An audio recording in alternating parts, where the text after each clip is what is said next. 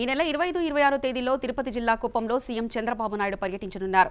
ఇరవై ఐదున మధ్యాహ్నం పన్నెండు గంటల ముప్పై నిమిషాలకు పీఎస్ మెడికల్ కళాశాలలో హెలికాప్టర్ ద్వారా సీఎం చంద్రబాబు చేరుకోనున్నారు. మధ్యాహ్నం ఒంటి గంటకు అన్నా క్యాంటీన్ ప్రారంభోత్సవం చేస్తారు. మధ్యాహ్నం ఆర్టీసీ బస్టాండ్ వద్ద జరిగే బహిరంగ సభలో చంద్రబాబు ప్రసంగించనున్నారు. మూడు గంటల ముప్పై నిమిషాల నుంచి ఐదు గంటల వరకు పీఈఎస్ ఆడిటోరియంలో చిత్తూరు జిల్లా అధికారులతో సీఎం సమావేశం కానున్నారు.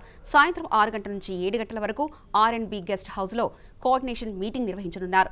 రాత్రికి రాత్రి రాత్రికి ఆర్ అండ్ బి గెస్ట్ హౌస్లోనే సీఎం చంద్రబాబు బస చేయనున్నారు. తిరిగి ఇరవై ఆరు ఉదయం గంటలకు చిత్తూరు జిల్లా నేతల కార్యకర్తలతో చంద్రబాబు సమావేశం కానున్నారు.